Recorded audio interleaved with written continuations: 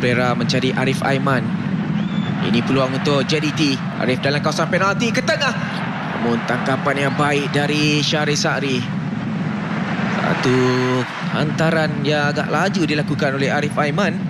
Namun Syahri sudah pun bersedia. Ya sekali lagi Arif Aiman memberi masalah di sebelah kanan.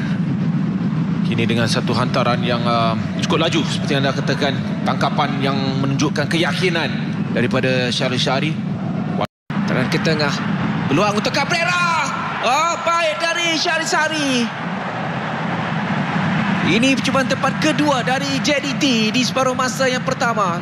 Sekali lagi dinafikan oleh Syahri Syahri untuk sekadar sepakan penjuru. Ya, ia datang dengan uh, sangat pelik daripada Cabrera. Satu percubaan yang baik. Manakala Syahri Syahri menunjukkan Terus uh, Nazri Faiz berikan uh, cabaran oleh Asnan untuk melakukan teram jadi di bola. Oh, cukup baik dari Syahri Sari. Bola. Jadi sebagai penjuru untuk JDT. Ya, boleh lihat uh, mereka berbincang ada um, Syahri Syahri tak dapat dengar um, komunikasi tapi sangat baik daripada Syahri Syahri. Apa sebarang layangan kad kuning. Arif Aiman mengasak untuk JDT. Cuba masuk ke dalam kawasan penalti peluang untuk Arif Aiman melakukan percubaan dari Arif Aiman. Kali ini berjadi selamatkan oleh Syahri Syahri dengan baik.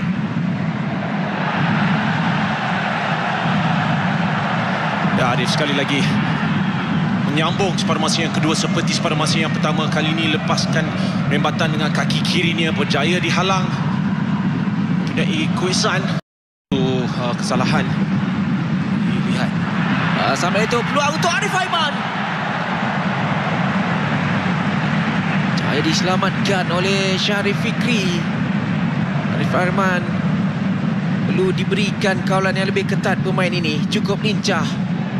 Uh, meninggalkan untuk Leandro percubaan dari Leandro. Oh, diselamatkan sekali lagi oleh Syahri Syahri. Syahri bekerja keras malam ni untuk mempertahankan gawang golnya.